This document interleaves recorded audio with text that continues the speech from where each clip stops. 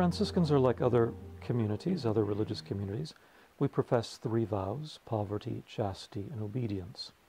Um, but they're nuanced a little bit in our Franciscan way of life. Uh, the vow of poverty.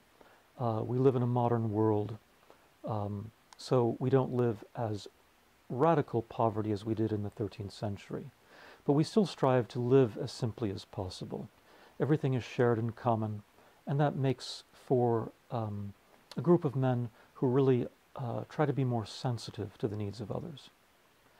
Um, obedience, uh, from the Latin, actually means to listen intently or intensely. So, uh, obedience is not simply doing the will of someone else, it's actually listening intensely to the needs of the community, to the needs of our brother religious, to the needs of society around us, a, a shared listening.